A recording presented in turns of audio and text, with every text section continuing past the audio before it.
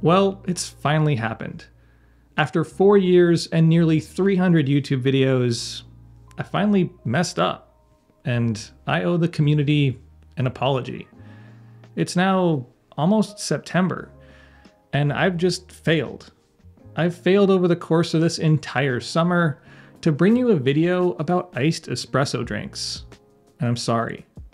Summer is almost over, and soon you'll be inundated with pumpkin, spice, everything.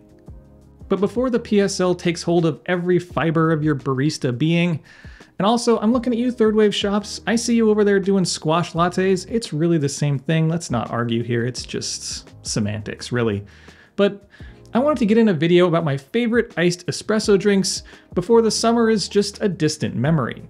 So I thought better late than never. Let's share some of my favorite recipes so you can spend the last few weeks of summer in cool, tasty bliss.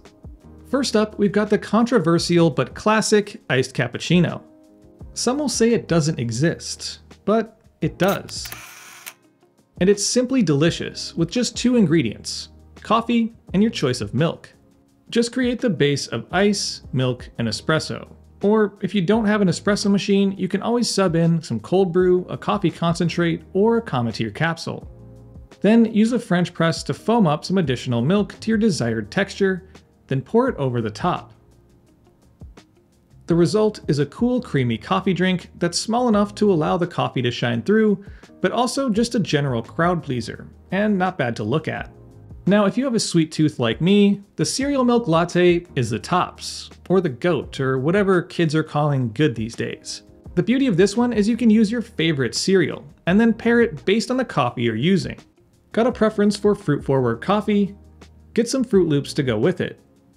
Or maybe you've got something more chocolatey. Well, Cocoa Puffs may just be the answer. And you can take on making this one either the simple way by literally just using the milk from your cereal bowl, or by letting them soak overnight and straining it through. One of the benefits of going the long route is you can control the flavor intensity by adding more or less milk, but I generally aim for a 1 to 2 cereal to milk ratio. The end result is a sweet, slightly denser milk that brings back those nostalgic childhood summer mornings, mixed with the reality of being an adult and the need for caffeine to properly function in society. Chef's kiss, baby. Last but certainly not least, and it's one of my favorites when visiting San Francisco, and it's the real San Francisco treat, I'm sorry to say Rice-A-Roni, but I'm talking about the Snowy Plover. This one is a little more work than the other two, but it's completely worth it especially if you like sparkling coffee. Step 1. Make a simple syrup. And it's got simple in the name for a reason. A 1 to 1 ratio of sugar and water, simmer to reduce, cool, and you're good to go. Step 2. Make some homemade whipped cream. And much like the syrup, it's pretty simple to put together. The basics are heavy cream, powdered sugar, and vanilla extract. I personally use half cup cream, half a teaspoon of vanilla extract, and powdered sugar to taste, starting with 1 tablespoon. Once you've got all the ingredients ready and set aside, it's time to pull yourself a shot of espresso. Finally, pour the espresso into a glass with ice, and then add sparkling water. The original uses Pellegrino. Then put in simple syrup to taste, and top with a healthy scoop of whipped cream, and enjoy. Of course, you can always sub in pre-made options like maple and agave syrup, or even pre-made whipped cream from the store, but if you're as extra as I am, Scratch-Made is the way to go. Or if you're in San Francisco, you can just head down to Andytown Coffee Roasters for the real thing.